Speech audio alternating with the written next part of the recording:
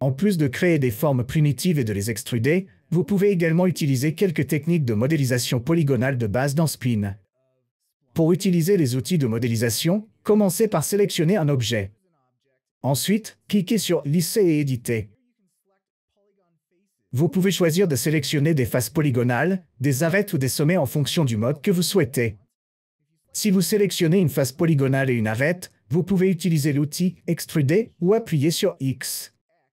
Cela affichera un petit point que vous pouvez tirer vers le haut pour extruder des faces polygonales, ce qui est plutôt cool.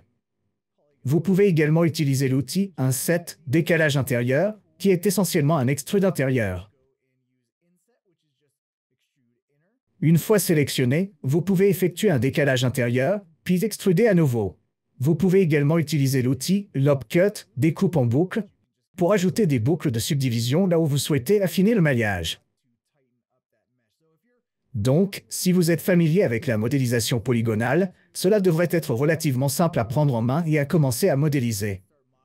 Vous êtes toutefois limité à des outils de modélisation de base. Vous pouvez toujours ajouter des subdivisions supplémentaires pour lisser davantage le modèle. Et voilà, j'ai ce, c'est un canard portant un chapeau ou une tête de canard Lego.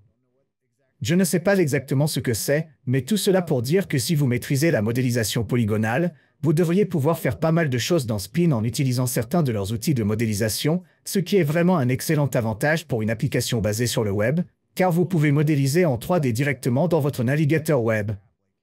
Et c'est assez incroyable, voilà donc les outils de modélisation disponibles dans Spin. Maintenant, vous vous demandez peut-être si vous pouvez importer un modèle 3D dans Spin. Eh bien, oui, vous le pouvez.